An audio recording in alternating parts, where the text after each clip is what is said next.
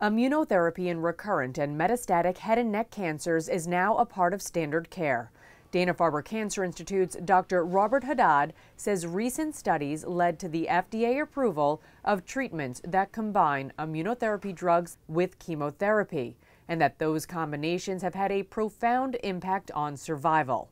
But now Dr. Haddad says researchers want to see what happens if those immunotherapies are used before the head and neck cancer spreads or comes back. Given the success we have seen in recurrent metastatic disease, we are bringing that drug or those combination of drugs into the neoadjuvant prior to surgery for those patients. Dr. Haddad says there are currently two trials involving immunotherapy treatment before the tumor is removed. I see the benefit as twofold here. I see that for some of these patients, we are seeing a shrinkage of their tumor by the time they get to the operating room.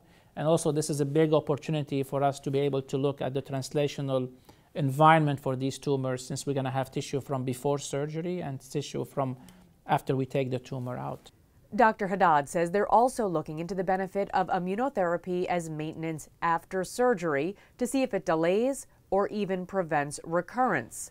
And in a trial unique to Dana Farber, Dr. Haddad says they're exploring the use of immunotherapy in patients with pre-malignant lesions of the mouth, lesions that are not cancer, but put patients into a very high-risk category of developing cancer. So the idea here is to use drug therapy with immunotherapy to delay progression or to prevent progression into cancer. These studies in early stage head and neck cancers are ongoing, but Dr. Haddad says he is encouraged by immunotherapy in metastatic and recurrent disease. For Dana Farber News, I'm Victoria Warren.